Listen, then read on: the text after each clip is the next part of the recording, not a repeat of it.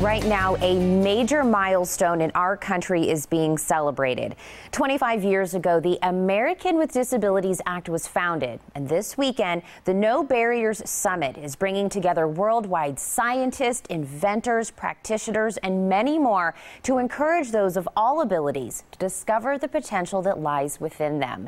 David Shurna and Kathy Martinez both join me to talk about the ADA's influence over the last 25 years and the latest innov innovations to technology that we are seeing at the summit. Thank you both so much for joining me this morning.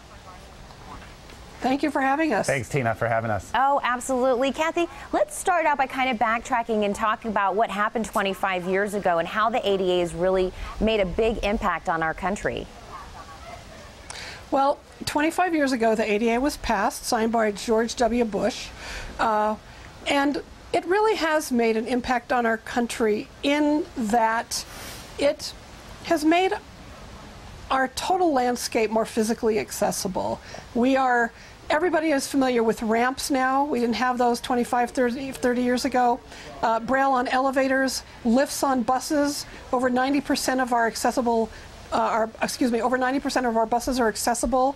Um, so we, the ADA has basically uh, level the playing field for people with disabilities, and it has allowed society to become more accessible so that folks can participate and contribute. And I think that it's amazing that we're having this celebration. And David, the No Barriers does an amazing job of kind of celebrating, but also kind of pushing forward into the future.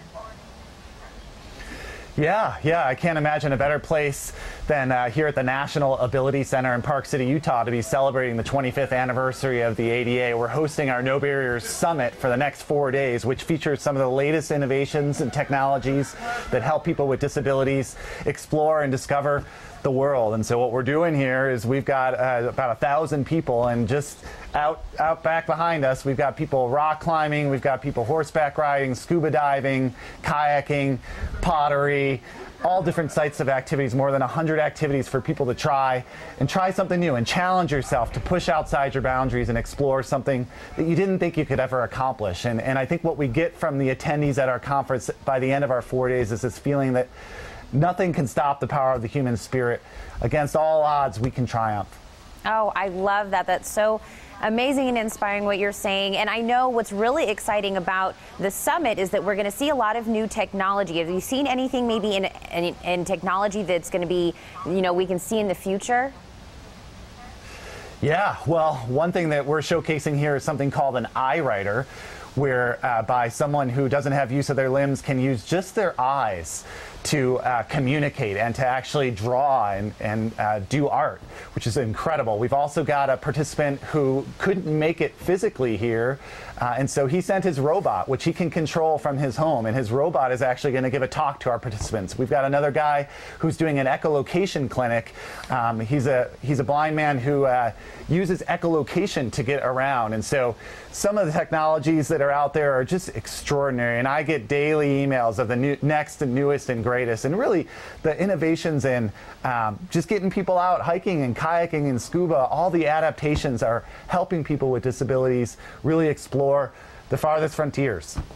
I think also the, the that that um, companies that serve the general public are realizing that access is a an issue for everyone. So smartphone companies are realizing that they have to develop smartphones out of the box so that people with disabilities can use them. And, and technology companies are realizing that the, that dis the disability community is a viable market. So they're beginning to develop technologies out of the box that don't have to be adapted so that folks can use them.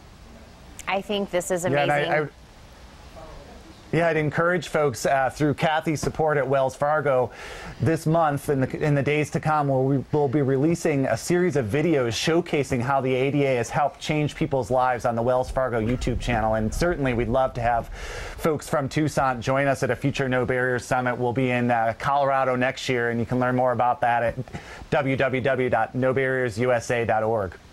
Well, I want to thank both of you so much uh, for inviting the viewers here in Tucson, of course, to join you in the summit next year. We hope you are all enjoying this and that everyone there is uh, definitely celebrating this milestone and learning so much from everyone that's joined.